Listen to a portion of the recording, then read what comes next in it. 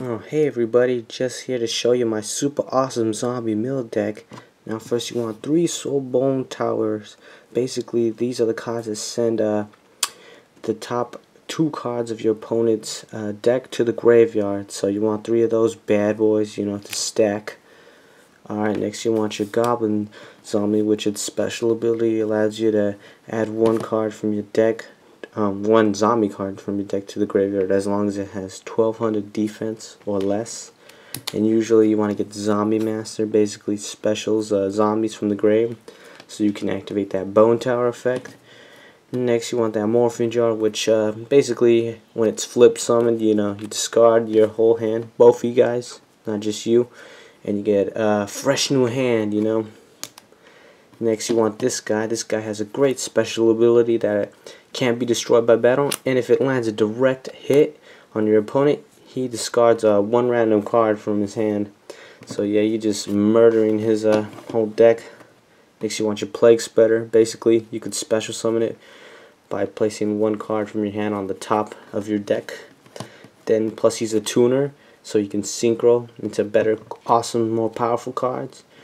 Next you want your Mezuki, which his effect allows you to, when he's in the graveyard, he can remove himself from the game for good to special summon any zombie type monster. So, you know, bring out this bad boy, Il Blud over here. You know, basically for kicks, you know.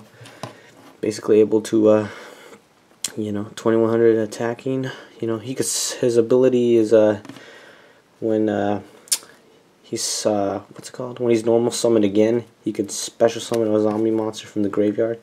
But if he leaves the field, he uh, takes all of them with him. So yeah, it's pretty risky this one.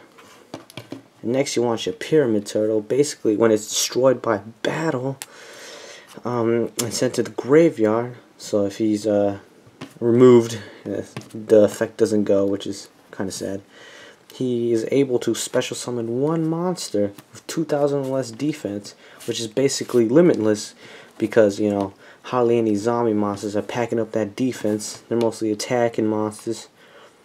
Next, I like to do the combo with the One Day of Peace where neither opponents take battle damage, which is pretty sweet, you know, so you're pretty safe for one turn. Alright, next you want your Gravekeeper Servant. Basically, if you have three of these, he has to send the top one top card from his deck to the graveyard.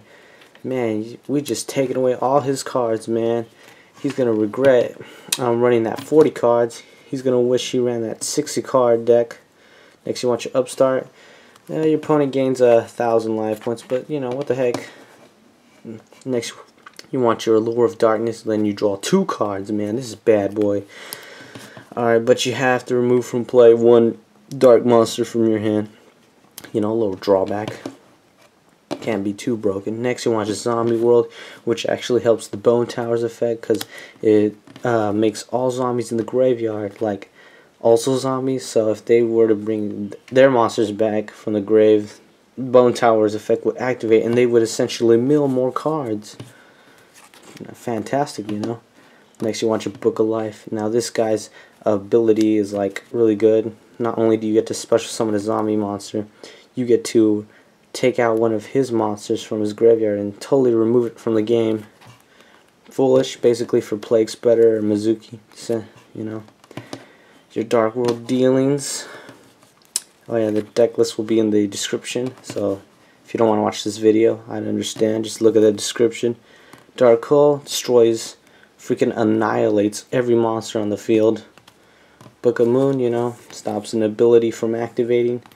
And you call the Haunted basically for like, uh, you know, special summoning obviously, and for uh, Goblin Zombie, you know, to activate his effect.